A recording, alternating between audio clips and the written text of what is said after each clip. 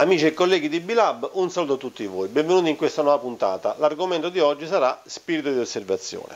È un elemento importante che dovrebbe contraddistinguere ogni apicoltore che si rispetti, insieme alla voglia di leggere e apprendere eh, tutto ciò che riguarda il mondo della, dell'apicoltura. Lo spirito di osservazione, quando si unisce ad una eh, solida base tecnico-scientifica, eh, spesso eh, tira fuori eh, delle persone veramente molto molto interessanti. Eh, è il caso del nostro ospite di oggi che è Bernard Savaget, francese, è stato ospite eh, al congresso della API a Grosseto eh, a gennaio 2020. Bene, seguiamo l'intervista che è stata condotta dalla collega e amica Chiara Concari eh, e eh, noi ci rivediamo in un prossimo filmato, eh, un saluto a tutti voi, un like se appunto vi piacciono questo tipo di attività, seguiteci sul canale YouTube e sugli altri social. A presto! Ciao a tutti, sono Chiara Concari e sono qui con Bernard Sauvaget, autore del libro L'ereditarietà nell'ape e nelle colonie di api. Oggi abbiamo l'occasione di fargli qualche domanda per conoscerlo meglio e per uh, capire perché ha scritto questo libro. Alors, bonjour Monsieur Sauvaget. Bonjour Chiara.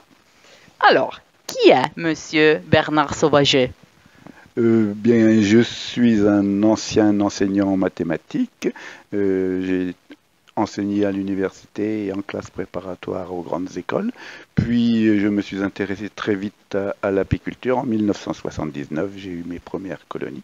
Je n'ai jamais été un apiculteur professionnel, euh, mais très tôt je me suis intéressé à la sélection et à l'insémination instrumentale des rennes. Donc, euh, je m'y suis mis très rapidement. C'est Henri Renson, un Belge, qui m'a enseigné euh, l'insémination. Merci. Pourquoi vous avez écrit ce livre?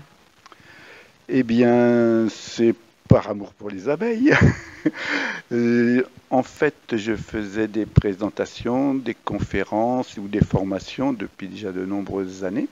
Alors essentiellement sur euh, l'élevage, comment on se passait justement la génétique des abeilles, euh, sur l'insémination artificielle.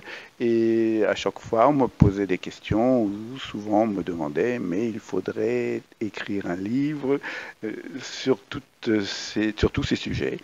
Et l'ANERCA, l'Association nationale des éleveurs de rennes et des centres d'élevage apicole en France, euh, m'avait invité à faire une présentation de, de la génétique de l'abeille.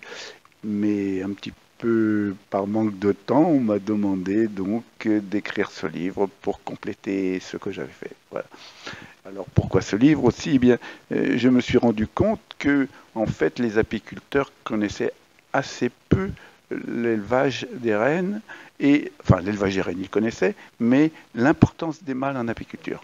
Donc j'ai vraiment insisté dans ce livre sur les propriétés fondamentales pour la transmission des caractères euh, sur l'élevage de mâles. Merci. Une question un peu difficile.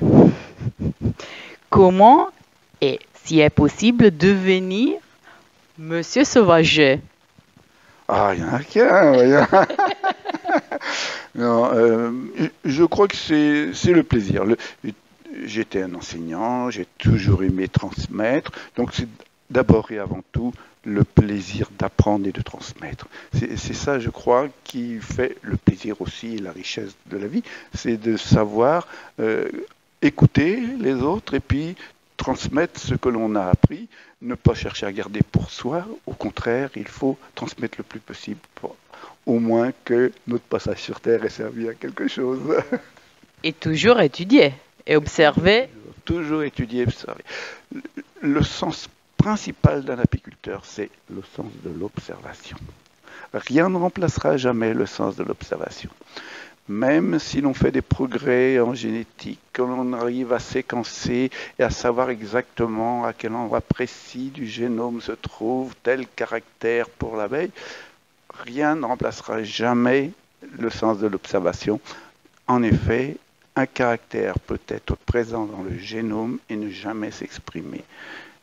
Et ça, évidemment, seul l'apiculteur saura le reconnaître et le voir. Merci, monsieur. Euh, monsieur Sauvager, vous faites beaucoup, beaucoup de conférences et à ces conférences, il y a de plus en plus de jeunes apiculteurs qui, qui vont devenir apiculteurs. Qu'est-ce que vous conseillez à ces jeunes? Euh, c'est vrai, de plus en plus de jeunes apiculteurs. Quand j'ai commencé l'apiculture, c'était l'apiculture, c'était surtout des, des, cheveux et des barbes blanches.